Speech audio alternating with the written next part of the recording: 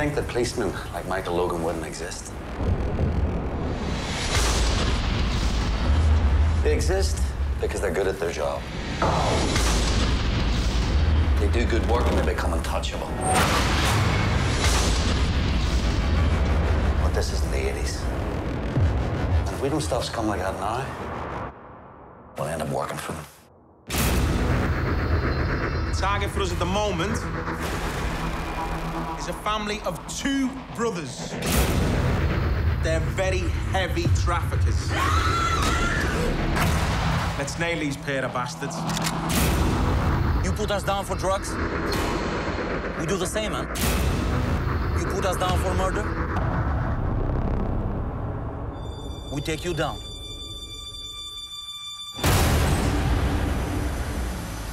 You're a good copper. Always have been.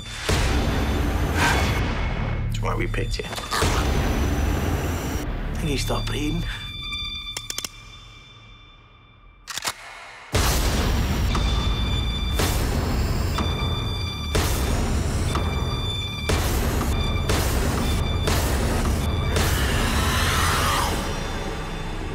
If you scratch my back, I'll scratch yours.